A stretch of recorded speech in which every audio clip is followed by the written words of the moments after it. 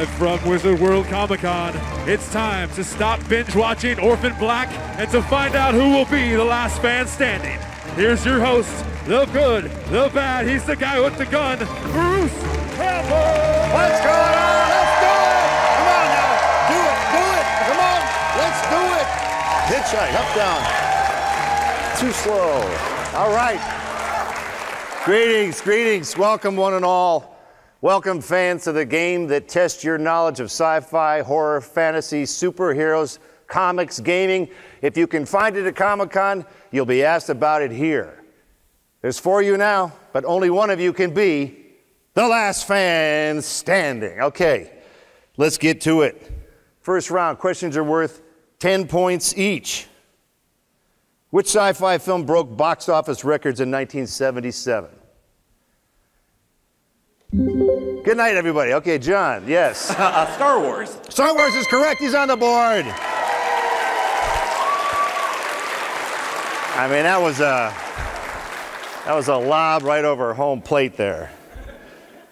In the Harry Potter series, what's the name of the object that shows a person what they most long for?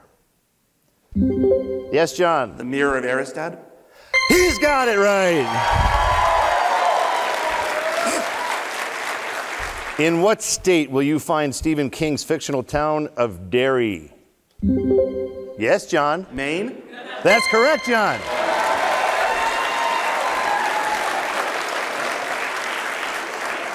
Um, now, guys, the object is to win the game. so, Michael, uh, you have a gun, I noticed.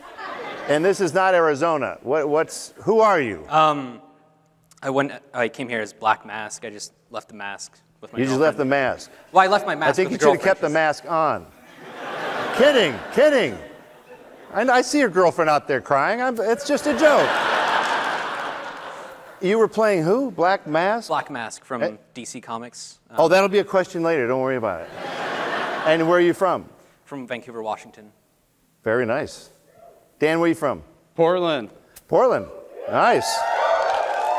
Yes, Portland, where young people go to retire. Uh, do you actually work? I do, unfortunately. What do you do? I'm an instructor. What do you instruct? That's a I- big yeah. category. Well, I wanted to keep it vague, but I instruct um, green energy, weatherization, home Why? Because people will throw tomatoes at you if you say that? I think that's very, very very responsible of you. Thank you. Is it Craig? Craig. hmm Craig. What's with the spelling? K R E G. You can thank my mom Did we screw that up or did you screw that up? Parents did it to me. Mother screwed that up. That's that right. What do you do, Craig? Uh, rent out heavy equipment, tractors, that You do what? You build it? Oh, rent it out. You rent it? Mm-hmm. Do you use it or you give it to other people? I give it to other people. Oh, so you don't rent it personally. That's not all you do is no, you rent stuff. No, no. Hi, I'm here for my tractor. Yeah, that's right. Craig, ready for his tractor. Okay. and how's that going for you? Uh, 40 hours a week, what can I say? 40 hours a week. You lucky bastard. the average crew member on Burn Notice worked 80 hours. Oh, Man. Twice your job, buddy. so, John, uh, AKA potential winner, what keeps you busy? I'm a radiographer. I have no idea what that is. Uh, a radiographer? Yes, as opposed to a radiologist. I X-ray metal things because they don't trust me around people. Good night, everyone. Good night. Trust you on people. I didn't know it was going to be this bad, folks. I, I'm sorry. Okay, shall we continue? Enough of your jibber jabber? Doctor Strange is a member of what Marvel hero supergroup? Yes, John. The Illuminati. Excuse me? The Illuminati. Oh, sorry. You better be a radiologist from now on, or whatever whatever ologist you did. Uh, anybody else? Yes, Michael. The Avengers. Whoopsie, that's incorrect. Anybody else? I'm sorry. It's the Defenders. I should have thrown it out to you, of course. What Chuck Berry song does Marty McFly play at his parents' high school dance in Back to the Future? Yes, John. Johnny B. Goode. Johnny B. Goode is right.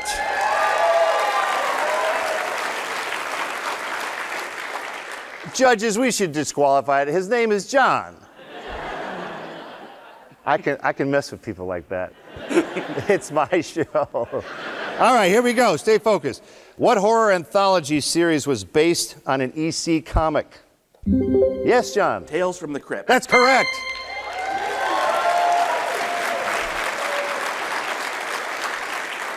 I'm going to warn you guys.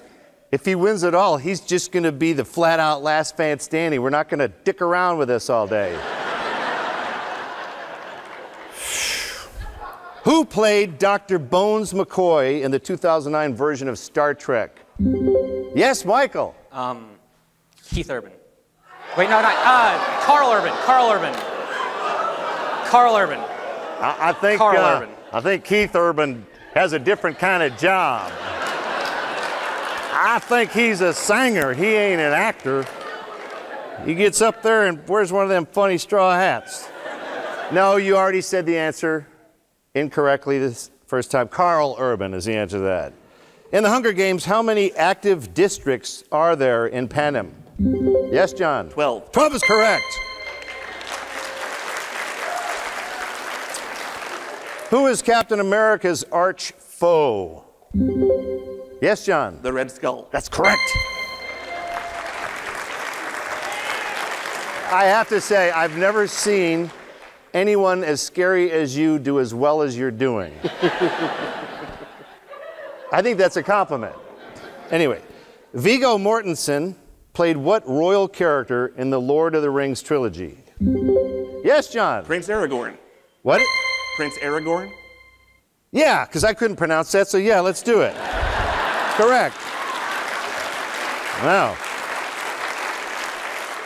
What is Thomas Anderson's hacker name in The Matrix? Yes, John. Neo. Neo's correct.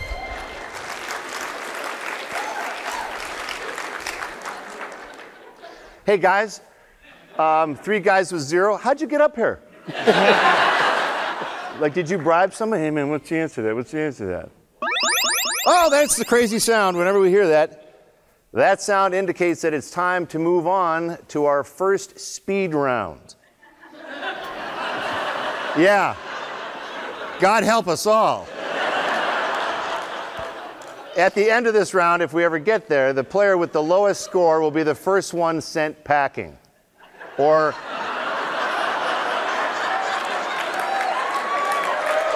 Wow. This, this might be the fastest game we've ever played. Sorry, CONtv, this one's going to come in a little short. Have to have some extra ads for depends and whatnot. Our category is I go weak. I'll list the weaknesses that can fell even the mightiest comic superhero, and you'll tell me which superhero each one affects. We have 90 seconds on the clock. Each correct answer is now worth 20 points, so things can change quickly. Let's play. I go weak as the category. We'll start easy. Kryptonite. Yes, John. Superman. Superman's correct. Having her bracelets chained together. Yes, John. Wonder Woman. I'm running out of ways to say yes, John. okay, this one is asbestos, duh. Asbestos. Yes, Dan. Everyone?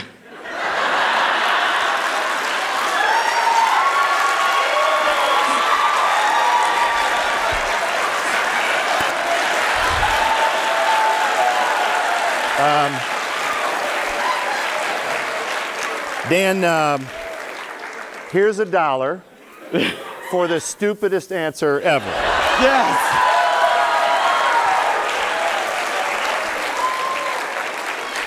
Holy crap, I forgot this was a speed round.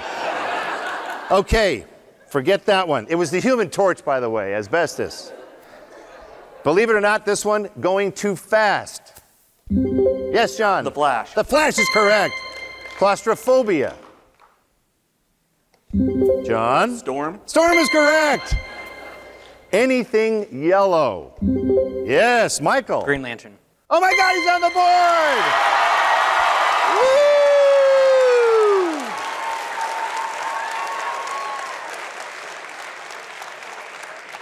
Well, at least you're not as embarrassed as Dan and Craig. Too much noise.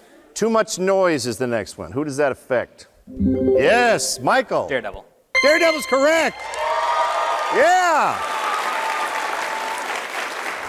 Being out of water for more than one hour. Yes, John. Aquaman. Correct. A weak heart. John. Iron Man. Iron Man's correct.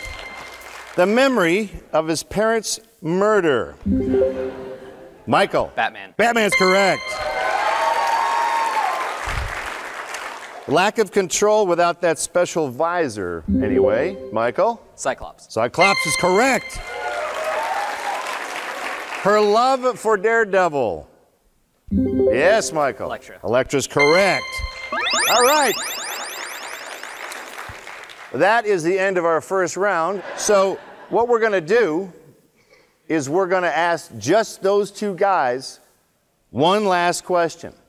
Whoever gets this question stays. The other guy crawls away throwing up blood.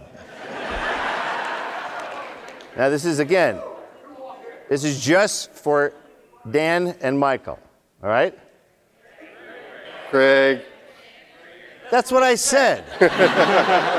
Dan and Craig, the guys with the zeros. That's right, I forgot. Okay, guys, here you go. What is the name of King Kong's home? Keep, keep those hands down. This is not for you.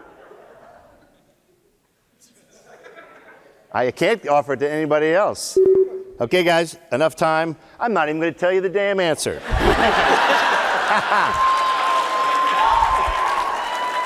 As you've wasted my time. I'm going to go to the next random question again, only for Dan and Craig.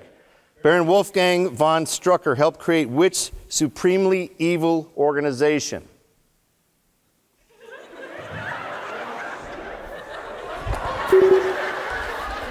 All right, all right, it's time for public humiliation. Anybody? Hydra! Did you hear how many people yelled Hydra? Okay, we're going to cross that one off the list. I'm running out of questions, guys. How many centuries separate the start of Captain James T. Kirk's initial five year mission and Captain Jean Luc Picard's? How many centuries?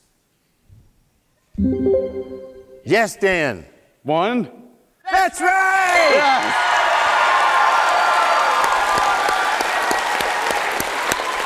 My God. Okay. Thank you, Dan. Uh, that, that means that we're finally, we're gonna, we're gonna break out the cots and the warm milk. That's the end of our first round. And we say goodbye to Craig officially. Thank you very much. Thank you, Craig. If we were playing golf, your low score would be wonderful. But here it means see you later, alligator. But thank you for playing. The rest of you, the rest of you stick around and see which fan makes it through round two, if they make it through it at all. Right after this. All right. Alrighty, we're back. We're back, and we've got three contestants left. Which one of you is leaving in shame, and which one will get the chance to compete in our final confrontation? Let's find out. Questions are now worth 20 points. Hands on buzzers. Here we go. In what TV show is a pilot hurled light years from his home by a freak phenomenon in space? Yes, Michael. Farscape. Farscape. He's on the board. All right. The Overlook Hotel figures prominently in what Jack Nicholson movie? John. The Shining. He's been quiet for a while. Good job. Very good. In what year was the original King Kong released? Yes, John. 1931. Whoopsie, close. Anybody else, gentlemen? He's only. Uh, sure, Dan. 34.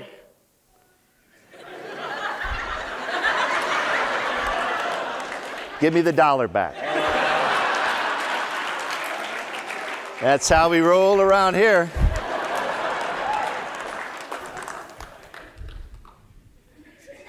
I need that for winners. the answer is 1933. 1933. Brandon Routh played the Man of Steel in which movie? Yes, John. Superman Returns. That's correct. All right. John, you've got some fans out there. Yeah. Yeah. Wait till they start going through your garbage, pal. All right. How many seasons did Buffy the Vampire Slayer run? John. seven. Correct. Before Grey's Anatomy, Katherine Heigl starred in what 90s sci fi series? Yes, Michael. Roswell. Roswell's correct. Dan, how did you get 20 points? Did you sneak in there one time when I wasn't paying attention? Got lucky. Yeah, you sure as hell did, pal. All right. If you want to fight the Green Lantern, what color should you wear? John. Yellow. Yellow. His ring has no effect on anything yellow. What simulation is Kirk accused of cheating at in the 2009 version of Star Trek? John. The Kobayashi Maru. Thank God you said that because I could never get through that. Well done. Nice. In what show based on a Stephen King novel does a man awaken from a coma to discover he has psychic abilities? John. The Dead Zone. Correct. Nice. Zoidberg from the series Futurama is from what planet? Try and say this one too. Anybody? Okay, time is up. Decapod 10, dummy. All right. Who played Robocop in the 1987 film? Yes, John. Peter Weller. That is correct. Nicely done. Guys, I, I think we have what we call in the business a runaway.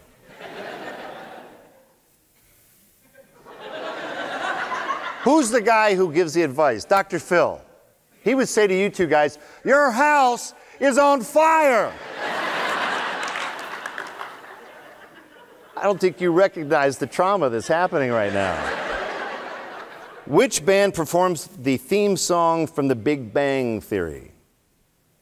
Very popular show, popular band. Yes, John. Nerf Herder. I like to hear you make mistakes, though. That's incorrect. Anybody else? Let's throw it out for our audience. Like, okay, you come up and play. Jeez, that's correct. What creatures mutate and get a whole lot bigger in the 1954 sci fi classic Them? John. Ants. Ants get real big, that's right. Stephen King's novel Misery, what does Paul Sheldon's biggest fan use to hobble him? Yes, John. A sledgehammer. We have a dispute with our judges, by the way. This was brought up earlier. The answer here says an axe. We're getting head shakes. We're getting no, yes, no, yes. Axe novel movie sledgehammer. Axe novel, movie Sledgehammer. Oh, really? So that's the difference.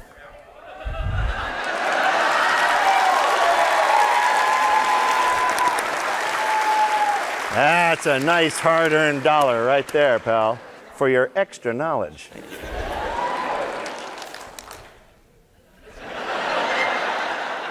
All right. Thank God we ended that controversy. In what year was Star Wars Episode 4 A New Hope released? Yes, John. 1977. That's correct. All right. That's the kooky sound. It is now time to face your final speed round, which basically exists to help thin the herd. These questions, and I think that's going to happen pretty quick there, Dana Rooney. Questions are worth 30 points, and our category is I, Robot. It's simple. Identify the movies or TV shows that these metal marvels appeared in. You've got 90 seconds to avoid humiliation. Here we go. Name the movie from the robot. Robby the robot. Yes, John. Forbidden Planet. Correct. Crow T Robot and Tom Servo. John. Mystery Science Theater 3000. Mystery Science Theater 3000. Gort. John. The Day the Earth Stood Still. That is correct. Okay, guys. Okay, it's it, just snap out a little. All right, you gotta, you gotta loosen up. Okay, you guys are a little tight, getting a little tight. Okay, come on, come on. Don't need to put that fake gun to your head. Come on, man. This is easy, Dan. HAL 9000. Yes, John. 2001: A Space Odyssey. Thanks for answering for Dan. Optimus Prime. John. Transformers. Yes. Data. Yes, John. Star Trek: The Next Generation. Next generation. Problem is, guys, if I start crying for you, I'm never going to stop. Jesus. Bender B. Rodriguez. Futurama. Wow. I'm sorry, what was your name again? R2D2. Michael. Whoa, wow, whoa. Okay, John wound up with it. Star Wars. Star Wars is correct. Johnny Five. Dan. Short circuit. Yeah!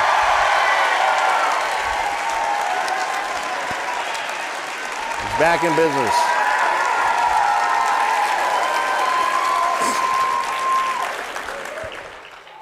Life is fickle. Marvin, the paranoid android. John. Hitchhiker's Guide to the Galaxy. That's correct. T1000. Dan? Terminator 2. That's correct. wow. Ash. Dan? Evil Dead. Oh wait, this is robots. No. Uh, gentlemen, let's throw it out to the real people. Oh! That's it. Ask not for whom that buzzer buzzes. Yep. Well, I think uh, our third place contestant is Dan. and the buzzer buzzes for you. Congrats for getting this far. Big round of applause for Dan here.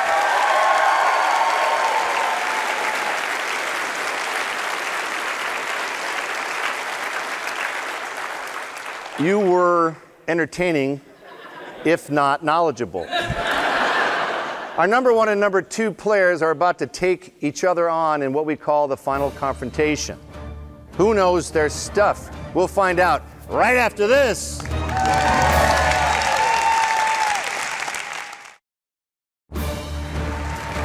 All right, gentlemen. All right, fellas, you've made it this far, but as we say in the horror business, you ain't out of the woods just yet. Now we start from scratch. No points, no buzzers. You guys got zero. You were zeroed out. The player with the highest point total from the first round will get to pick their category first. The player with the second highest total will pick their category second, but will play first. okay, each of you will answer five questions in the category of your choice. Correct answer will get you two points. A wrong answer or no answer at all will give your opponent the chance to steal that question for one point. Our categories are DC's Big League, groovy sci fi of the 70s, and A Quiet Little Place in the Woods. Choose carefully. John, you're first up, so you get to pick one of these categories. You want me to repeat the categories? I'd like to go with a quiet little place in the woods. Quiet little place in the woods. Okay, very good. Uh, we'll take care of that business. Now, um, you're Michael. I knew you weren't John. Okay, you now get to pick yours. Pick your pick your out, out of the last two. Um, DC Big League. Was that DC Big League. Okay, and because you're second, you play first. Are you ready for this? Okay, now here we go. Final confrontation. DC's Big League. You get the first first dibs to answer. You can answer if he doesn't. And these are what? I believe one point each, judges? Two points each. You'll see how critical these little teeny points are. DC Comics Justice League used to have a slightly longer name. What was it? Justice League of America. That's good. Good answer.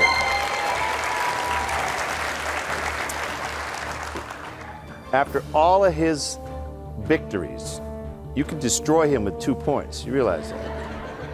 What classic animated series, which ran from 73 to 86, featured the Justice League?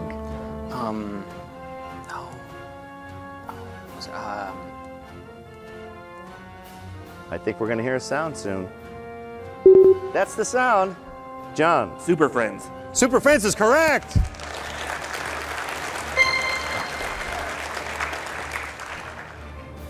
Super Friends, okay, also known as Princess Diana, this superheroine is the only female founding member of the Justice League. Name her. Wonder Woman. Wonder Woman is correct.